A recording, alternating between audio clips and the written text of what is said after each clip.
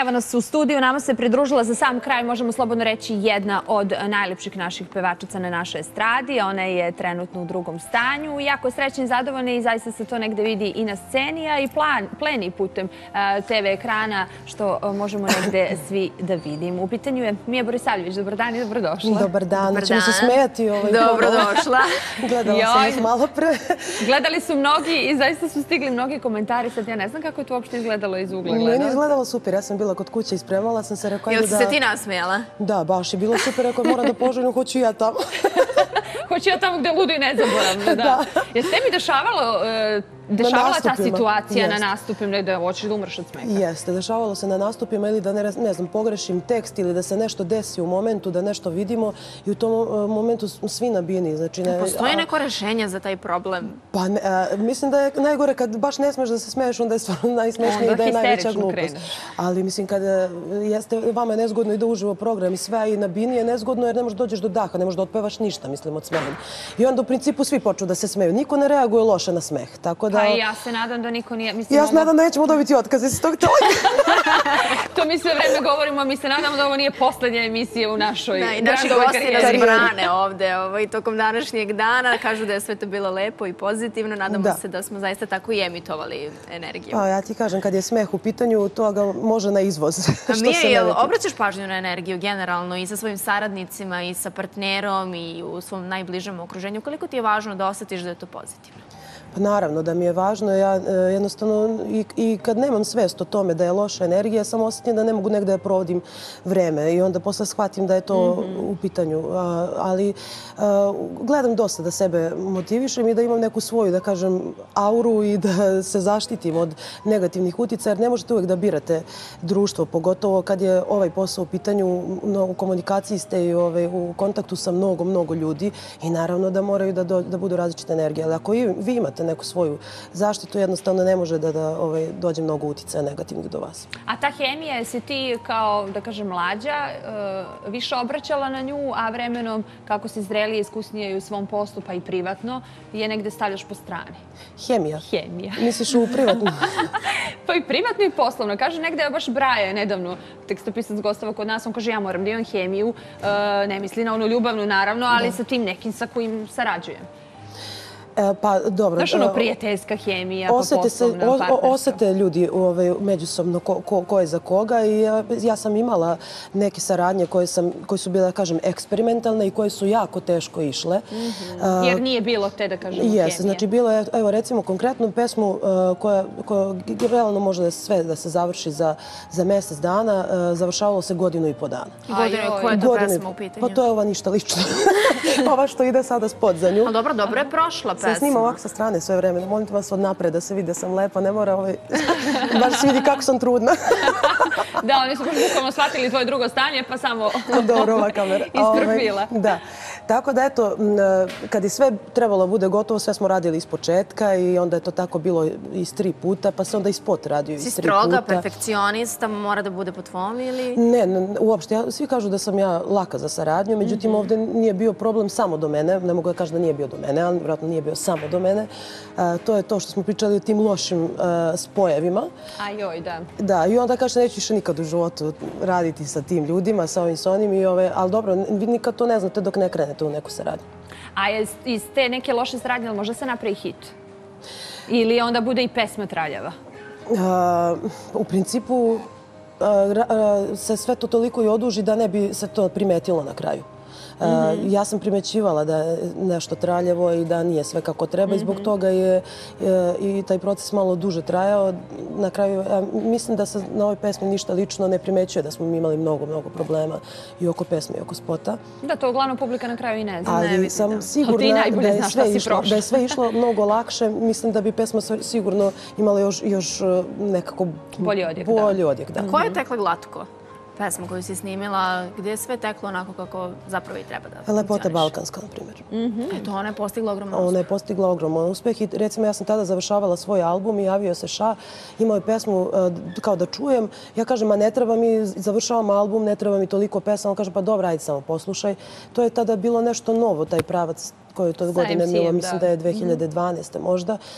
I ja kažem, pa dobro, ajde, znaš, nije mi uopšte, e, nisam nikakvu dramu imala oko toga, ni, ni kako ću ja to otpevati, ni kakav će nam spot biti, zato što mi je to bila ono 11. pesma na albumu. Zadnja rupa na sviralu, što bi se Zadnja reklo. rupa da. na svirali, jest. I ta pesma, ne da je ogroman hit, nego i dan danas e, mogu da kažem da ja još uvijek imam mnogo posla na kontu te pesme. Da, ali rekla si da je u tom trenutku ona bila nešto novo i onda Da. te kasnije taj pravac krenuo da se razvije. Nisi imala neku bojazan pošto predstavljaš nešto novo kako će publika to prihvatiti? Pa jesam, za, imala sam bojazan ne samo kako će publika prihvatiti, nego kako ću se ja, Snaći. kako ću ja to prihvatiti. e, Jer to je bila, da, kažem, da ostanem ja Mija Borisavljević, a opet da ispratim i ispoštujem taj fazon. Tako da ovaj, ne smete da izgubite sebe ko- ko- koliko god da radite neki novi fazon. Ako čujete e, da ste nekako promenili e, svoj lični opis u pesmi, onda to nije dobro. Tako da eto, to su te neki, neke stvari. Imala sam ja posle dosta eksperimenata gde otpevam pesmu skroz u studiju i kad poslušam kući ja kažem no, definitivno nisam ja koliko god da je sada trend taj neki fazon on nije da mi ne leži nego jednostavno niko neće znati da je to Mija Borisavljević i onda nije to to. Koliko je e, teško bi, bilo da dođeš do toga ja sam Mija Borisavljević? Negde danas se zna ko si, šta si i zaista imaš, e, da kažem, i puno hitova i već negde, ono, da kažemo, dobru karijeru. Da. Pa, To bio, kako se to razvijalo kod tebe? Pa, uf, bilo vrlo sporo? postup- Pa vrlo postupno, da kažem da je moj prvi album prošao gotovo nezapaženo, mislim. E, I sa najboljim autorima, i Marina Tucaković, i Braja, i da, mislim, Abadić, da ne nabrajam sad sve ko je bio na tom albumu i ogroman novac je tu uložen i e, za dobru produkcijsku kuću i sve je bilo super i koreografije su bile i tu. Međutim, jednostavno, niko mi ništa nije verovao. Ne možete da dođete... To nije bila ona pesma kako da ne. To je bila ta pesma Kako da ne, ali to se sad sve kasnije dešavalo. Znači, u principu ja sam tad izdala prvi album i jedan spot za pesmu Prvi stepen ludila i nikom ništa.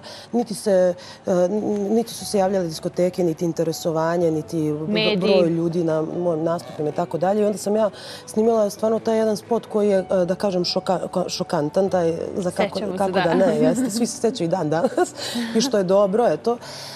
I na kontu tog spota a, sam dobila poziv tada za učešće u Velikom bratu.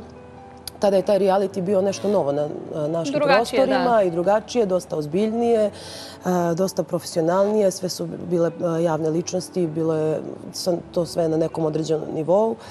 I trajalo je samo mjesec dana, što je jako bitno da se ne transformišete u reality ličnost, nego da i dalje zadržite svoj, svoj zanimanje. I ja kad sam izašla, desio se onda hit Ženska roš. I posle toga... Sve ti se nekako poklopilo. Jest. Jest, I to je taj znači, posle toga su bili sve hitovi, a tada je počeo da se sluša i moj prvi album. Znači, ne možete da izbacite jednu pesmu ili jedan album i da kažete ja sam uložio toliko i toliko para, eto, pojavio sam se, lepo sam se obukao, iz- dobri su mi autori, dobra mi je produkcijska kuća, šta sad znači. doće ova publika od mene, nikad nije kraj. Ulaganju i Pa ni dan danas. planovima, ni dan danas i nema veze što sam ja imala toliko hitova za ovih devet godina. Ja ponovo spremam novu pesmu i uvek je ista trema, ista drama, da li će biti dobro, kako će biti prihvaćena i tako dalje. U ovom poslu jednostavno nema kraja. Nema kraja, da. Da, nema. Ajde da čujemo prvu tvoju pesmu od ove dve i spot pa da se vratimo u studio i da Koju ćemo nastavimo sad da čujemo? Sad ćemo Možda da vidimo. Ko je gore prošao?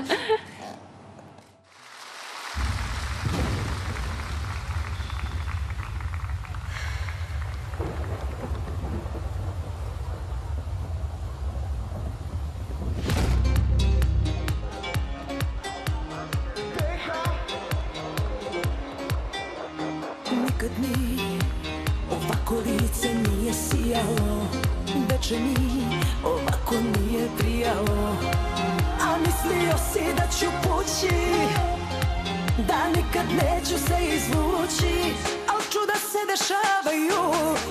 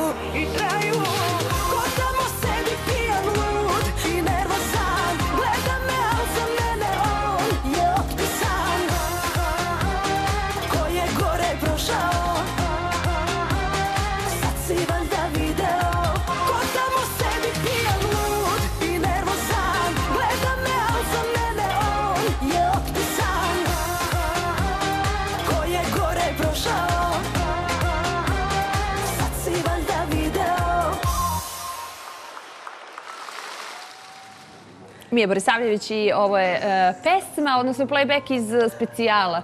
Tu negde vi, u stvari pevači kod e, našeg, našeg direktora, najbolje ovaj, prezentujete svoje pesme. Tako? profitiramo na neki način. Lepo se promovišete, da. Koliko ti je važan ovaj scenski nastup i da to sve bude onako kako si ti zamislila? Ili nisi ništa zamislila, nego tako bude u datom momentu? Pa ne bude uvek tako u datom momentu. Uglavnom, eh, kad imate neke koreografije, to mora dosta da se radi na tome i da se vežbe, da se osmišljava. Ali eh, se uvek vodi računa da ostanete dosledni sebi, garderoba, šminka, ono. Mislim, to se sve, da kažem, eh, ljudi očekuju kad se nešto pojavi, da, da to sve bude lepo, da to bude lepo upakovano. Naravno da se mnogo pažnje posvećuje to. Da, i da bude onako bum kad god je nova pesma, novi spot i verujem da je teško održati negde. Ti, ti važiš za, ne, za ženu koja si pod broj jedan jako lepa, negovana i onda ljudi očekuju u svakom momentu da si ti takva. Da, pa ja Jel to jesam, malo negde, jel jesi? Jel te to nekad malo I kući opterećuje? sam mnogo lepa. ne, pa ne opterećuje me, zato što, eto, kažem, mislim, me redko kad možete da vidite nešto dronjevo, čak i u kući nije To je tako. baš lepo. Da, to je važno, pogotovo kod javnih ličnosti koji nikad se ne zna ko može kad i gde da, Da vas, iskoči. da vas Mene, sretne. mene zezaju uglavnom, pošto ovaj, e, ja sam možda jedina koja još uvek nije istetovirala obrve, ali ovaj, kako se zove, malo su mi svetlije od kose i onda ja nema šanse da izađem negdje iz kuće da malo ne, ne docrtam obrve. aha. Čak i kad stiže dostava recimo hrane ili bilo čega, ja crtam obrve da otvorim vrata. Evo još Ovaj, nisam čula. To je baš, mislim, meni je to divno. Ali najveći problem ima recimo leti kad odem na bazen ili na more i kad izađem iz vode, ovaj, ja izađem bez obrva. Onda neki vodootporni gel za, obrve. nisam istetovirala. Posavjetovat ću te koji jel gel. planiraš malo i to da popraviš, da ti Pa to... ne znam, ne planiram zato što to ja imam problem i kad me šminkeri šminkaju, ja kažem, ja ću da nacrtam obrve, ne dam nikom te obrve, ne znam zašto. Aha, Dobro, navikla si, najbolje znaš šta i kako. Koliko se situacija promenila u drugom stanju? Jel rade hormoni? Pa rade, mislim, prva tri mjeseca je bilo, da kažem, e, psihički dosta naporno, jer onda susretnete se sa nečim što nema, nemate u stvari pojma šta vas čeka i onda e, milion nekih panika i potpitanja e, knjiga, časopisa, interneta, svega i od toga boli glava na kraju. A mene je to, hvala Bogu, zateklo na svim mojim putevima, jer to je bilo jul, jul avgust, Kome september. si prvom rekla? Pa Bojan je bio tu pored mene u momentu tom kad smo mi saznali da je, da je to si tako, trudna, jer smo da. tada bili na putu u Mostaru, smo bili pred nastup.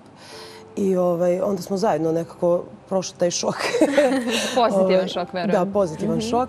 I onda sam taj moj put nastavio posle, ne znam, išli smo za Negotin, pa na Srebrno jezero, pa ne znam, nije cela ta nedelja je meni bila u, u, u, ovaj, kolima i u, u avionima.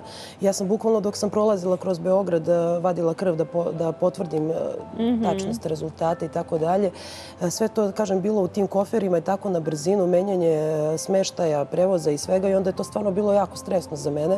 U tom momentu kad saznate da ste trudni, treba da kaže, a šta ja sad treba da radim?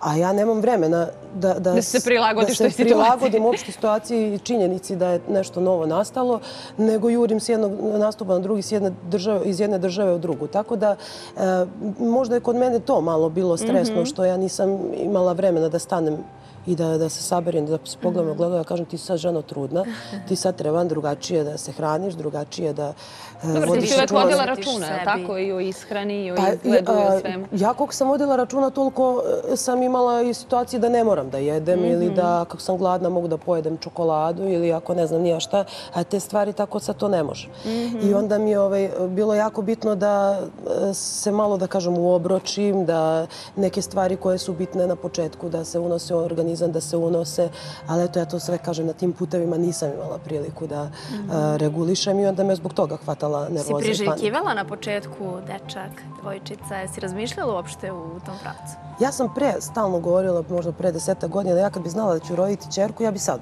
Da. o- ostala u drugom stanju. A, posle, u tom momentu kad sam saznala da sam trudna, mi je stvarno bilo sve jedno. I to je zadnja stvar o kojoj razmišljate. pomislila, da. I onda ovaj, e, postoje sada ti testovi gde možete dosta rano, čak od 10. 11. nedelje da uradite taj nifty test, da se pokažu sve ovaj, da li postoje Genetske neke... predispozicije. Jeste, znači posle toga ne morate da radite ni double test, ni triple, Triple ni test, sve da. ostalo i mislim da je to stvarno fenomenalno jer je test iz krvi, ne postoje nikakve ovaj, ni, ni problemi, ni, bolo, ni bolovi i tako dalje, ni rizici za bebu i ovaj, 99,9% je tačan. E, između ostalog, ako hoćete da vam oni odrede pol, oni vam odrede, ovaj, to jest napišu vam tamo i eto kad je stigao taj test, to je posljednje što sam ja pogledala. Znači, Šta je? da li je dečak ili devojčica, koliko vam je bitno i Zdravlje na prvom mjestu, naravno. Jeste, da li je to sve kako treba, da li su svi parametri dobri, da ja sam zvala jednu doktorku, drugu doktorku, da mi svi potvrde i onda oni kažu, jeste videli pol? Ja kažem, a pa čak gde to piše? Tako da stvarno vam kraju. eto, to nije bitno toliko. Da, malo pre si spomenula da si išla sa Bojanom na jedan tvoj nastup. E, Je li vam to danas Na olakšavajuće? svim nastupima mi smo u principu uvek nastupamo Da, i zajedno. nedavno sam ovaj, isto videla da ste imali jedan nastup na televiziji zajednički. Sada ste zajedno. Je li to negde olakšavajuća ili otežavajuća okolnost kada je u pitanju partnerstvo? Da radite zajedno? Kako kome? iskustvo. Kako kome? Nama je olakšavajuće. Zato što smo mi stvarno surovi profesionalci i nema šanse. Znači, to momenta kad je u pitanju a, tonska proba, kad se popnemo na binu, kad a, radimo na nekoj pesmi zajedno, imamo zajednički duet. nas dvoje jednostavno kao da Kao jedno. ne, nego uopšte ne, nema tog emotivnog a, Aha, na odnosa. sceni ste U, to je profesionalni. super, da. u, u tome i tako nam je bilo od uvek i kad smo se zabavljali i sad kad je ovako malo ozbiljnije. Kad pričamo o tako nekim stvarima, to je bukvalno kao, mislim, totalno kao dva profesionalca. Znači, nema emocija, nema... Znači može to da se odvoji. Pa ko, u našem slučaju može. Zato kažem, e, zavisi kako kome. Nekome je to Mhm. otežavajuće, nekome nije. E, U meni sad može samo da bude olakšavajuće u smislu da e, imam podršku i zaštitu pored sebe, na, pogotovo u nekim situacijama koje su dosta komplikovane. Mhm. Imali smo puno puta neke neprijatne situacije i svašta nešto i uvek vam znači kad je neko tu, nebitno da li je on sad meni partner ili ne, ali mi znači što je je čovjek u kog imaš poverenja tu pored Da, tebe. tu pored. Dosta su mediji nagađali ko je dečko od Mije Borisavljević, da li ima dečka, nema dečka, pa onda posle da li je trudna, e, nije trudna. Koliko si žela da sakriješ sve te intimne detalje? E, nisam ja mnogo želela da sakrijem, ja sam više želela da ne pričam o tome. Jer sam znala ako jednom budem rekla A na, na tu temu, da će moći knjiga da se napiše, da će me svi ljudi samo o tome pitati. Tako da ovaj, uh, uvek sam govorila kad budem imala stvarno nešto konkretno da kažem, ali evo sad je trudnoća u pitanju i sad tu nema šta da se Nema krije, to su naravno. lepe stvari, nije važno. Eto sad znaju svi, ja sam javna ličnost i znala sam da od toga ne mogu da pobegnem od ovakvih pitanja na kraju krajeva. Uh, o ovako konkretnim stvarima po mom mišljenju može da se priča.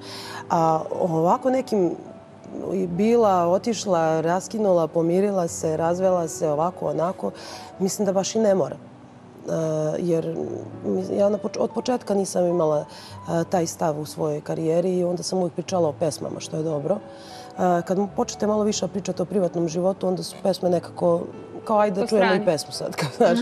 Tako da eto, ja nisam nikad žela i ne, ne znam da pričam puno o privatnom životu, o tom intimnom, emotivnom i tako dalje. Malo sam po tom pitanju duduk. Koliko god sam komunikativna, po tom pitanju sam vezana vreć. I zbog toga nikad i nije bilo tako tih priča na tu temu. Dobro, ljudi bi najbolje, očekivali da su u drugom stanju skroz možda i promene neke stvari, međutim ti vredno radiš, snimala si spot, Da. ne prestaješ, nestaješ. Dobro, spot je bio malo mirniji, Pa tako? jeste. Mislim, moje obaveze su svedene, da kažem, na, Na minimum, ali e, taj moj minimum je možda neko maksimum. Eto, ja sad nastupam samo petkom i subotom i jeste, radim spotove, gostujem u emisijama i tako dalje, ali ja sam e, do skoro imala tempo koji je stvarno, mislim, neizdrživ i koji nije ni za e, muškarca kao li za ženu, a ne trudnu ženu. Tako da ovaj, e, ti nastupi su ovaj, malo proređeni. Eto, to je ono što, u čemu je stvar. Znači, petak i subota je sad za mene samo kao ja imam celu nedelju I to što manje da putuješ, pretpostavljam ko može tu I negde to u su sve neke malo, da kažem, povezanije Mhm. relacije. Nisu tako baš jedna država pa druga sutradan. Mhm. A, ali a, nisam se ugasila, da kažem, i dalje radim. I do kada planiraš da radiš? I planiram da radim tamo negde do, do januara, na primjer, ne znam, ali Termin rekla sam da neću da pratim, te, neću pravim te dugoročne planove, zato što ja ne znam ni kako će izgledati, ni kako će se osjećati. Ja ako osjetim da za 10 dana nešto ne ide i da je to mučenje ili da ne, jednostavno publika to ne prihvata ili da nešto ja naravno neću raditi. A, ja sam totalno protiv te diskriminacije da žena sad ne znam ako je trudna posla da ne nije treba... bolesna ako je trudna. I jeste. Jer ja, ja stvarno, mislim, meni neko i kad, ako ne pita, ja, ja i zaboravim da, si sam trudna. trudna. Jest. Ti si ko ja, tako sam i ja isto se ponašala prema sebi. Jel svi primećuju, pošto evo ovako kada te gledamo, zaista i ne bi rekli da si u drugom stanju, ne vidi se još toliko stomak. E, Da Onaj ko li- ne zna ili primeti, da. Da li još neko misli, jel si ti to dobila koji kilogram ili se odmah pita direktno o čemu se radi? Pa e, ja imam tu sreću da ljudi, na primjer, na TV-u mene doživljavaju kao neku ogromnu, ogromnu ženu visoku, šta ja znam, dva metra, krupnu. I onda kad se tako pojavim uživo, svi misle ili da sam smršala ili da je TV jedna e, takva varka da više ga nikad neće gledati. Da dodaje kilograme, da. I onda ovaj, a, niko ne, ne pita nešto da li sam se ugojila ili ne znam ja šta, nego eto, uglavnom su komplimenti da sam ja kao lepša u prirodi. A to kad ja kažem posle da sam trudna, onda oni kao aha, da, ili kao pročitali smo ili kao nismo imali pojem. Tako da još uvek, eto, se očigledno to ne primećuje toliko. Još uvijek se svi navikavaju, pa čak i ti na tvoje drugo stanje, možemo Da. slobodno tako da kažem. E, Mija, e, mi ti zaista želimo e, da što duže radiš, da što duže budeš aktivna, onda kada postaneš mama vidjet ćeš e, koliko to zaista nema cenu i da je to po meni negde najlepši smisao života. Pa to svi kažu, da. Da. Hvala ti puno na ovom Važno, gostovanju. hvala vam. Hvala mnogo mi kraj što si bila danas. Ako se ne budemo družili do tvog porođaja, onda posle toga o nekim novim iskustvima Pa družit ćemo se jer evo kažem, sad, sad vršavam novu pesmu. Pa će biti povoda. Je, eto, u stvari pesma je završena, ali spot treba da se montira još par dana. Tako da eto ja sam raspoložena da se družimo još koji put pre, pre moje pauze. Da. Hvala Hvala ti još. Samo sam se pozvala, upisat ću se tamo. Da. Vrlo rado ćemo te ugostiti. Mi Borisavlje slušamo pesmu, gledamo spote i onda se polako javljamo. Da ne uzimaj zdravo za gotovo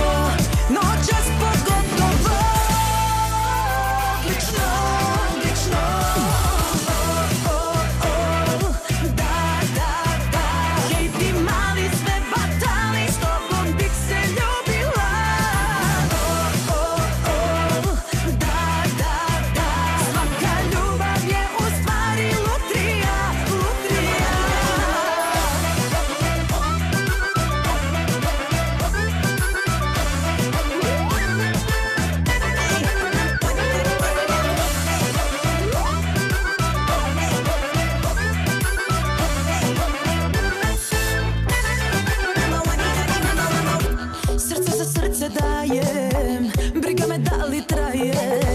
Pa krijem mračnu stranu Da